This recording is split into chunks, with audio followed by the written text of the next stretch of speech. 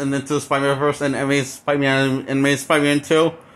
Uh, so I give the Amazing Spider-Man a 5 out of 10. Spider-Verse is the best one. Second best is Amazing Spider-Man. And the worst one is Amazing Spider-Man 2.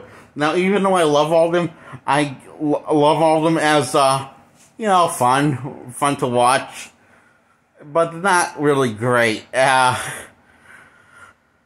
I mean, you can kid yourself saying these are great, great, deep, complex stories, but they're really not when you look at them and take a close look at them. They're not really deep or complex like they should be.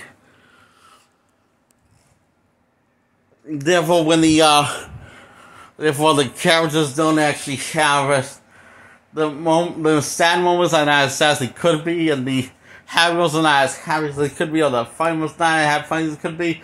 And it was like how uh, uh, how Andrew Garfield plays him in the sequel, plays Peter Parker half a little differently. He plays the Peter Parker half and the Spider-Man half both for community release. Now, in the sequel, I mean the first one, the first Amazing Spider-Man, he played the Peter Parker half, Peter Parker half mostly for comedic relief and the Peter Parker part straight in for drama. Now, that's how it is in the console, therefore I didn't have problems with that.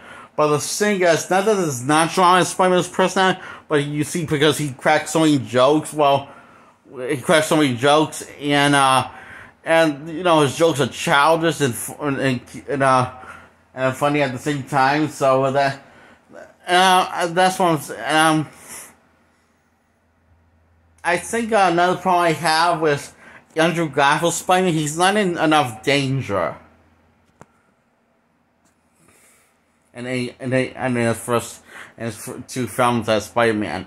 He's never not really in any danger. Like even he like Spider Man was in danger even in the first two Spider Man films, which were garbage. But at least he has Spider Man in danger. See, I feel like we have don't have Spider Man in that much danger, and not really cracking that jokes. It makes it let's kind of it makes it takes away some certain level level of his character because I feel like um okay I'm gonna say this. I feel like uh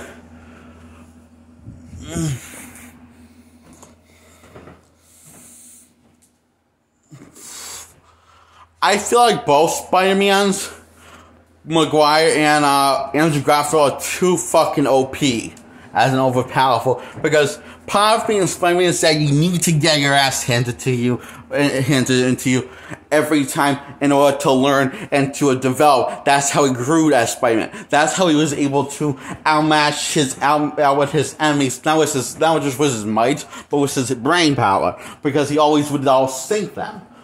Because he would, he would have many, many, many, many ridiculous amount of times of him getting his ass whooped. Mm. While still cracking jokes, he would still get his ass whooped while cracking jokes. He was also do that when he would uh, would win. He would do that when he when when, when he was losing. I I feel like um, this is another reason why I think Tom Holland is the best live adaptation of Spider-Man because he's not too OP, and uh, he gets his ass handed enough, but not to a point when he feels incompetent.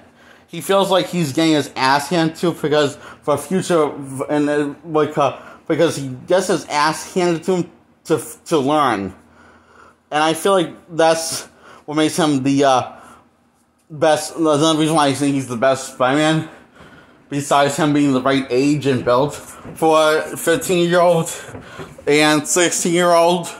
He's 16 in the sequel Spider-Man Far From Home, but most people think he's still 15 when he says that he's 16. In the movie, it says he's 16, so it's like they didn't watch the movie or they just weren't paying attention. I don't know. Anyway, that's my thoughts on why all these Spider-Man films are not my favorite or these Spider-Man films are not the best Spider-Man films or not my Spider-Man films. Well, you know, as in not bad, then it's not good.